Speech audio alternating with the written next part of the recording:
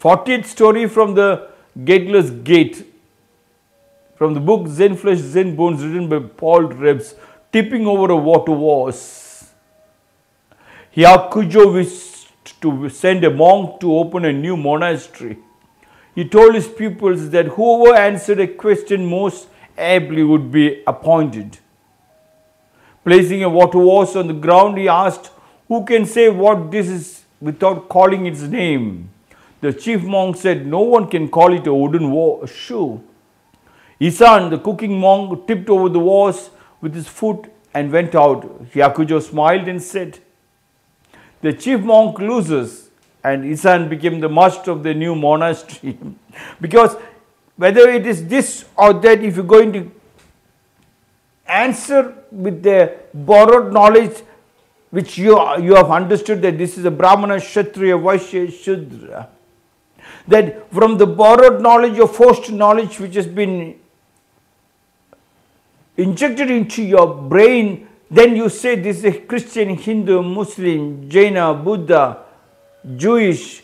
You use those terms. Otherwise, you see a child, it is full of happiness. You don't even call a child, you only see the happiness, the smile, and the naughtiness. That's all.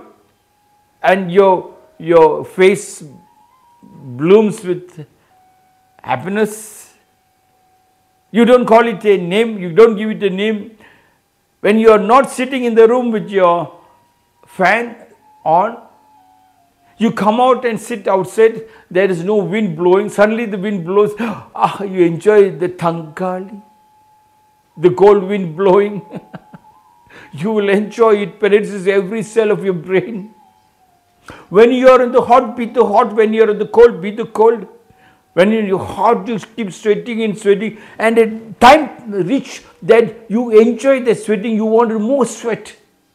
And the more sweat when comes out, you enjoy working harder because inside the body is asking, burn it out, burn it out. And the moment you burn it out, it's asking for water and you drink water, it flushes out the whole system. You don't have to go to the doctor to flush you out. doctor is not a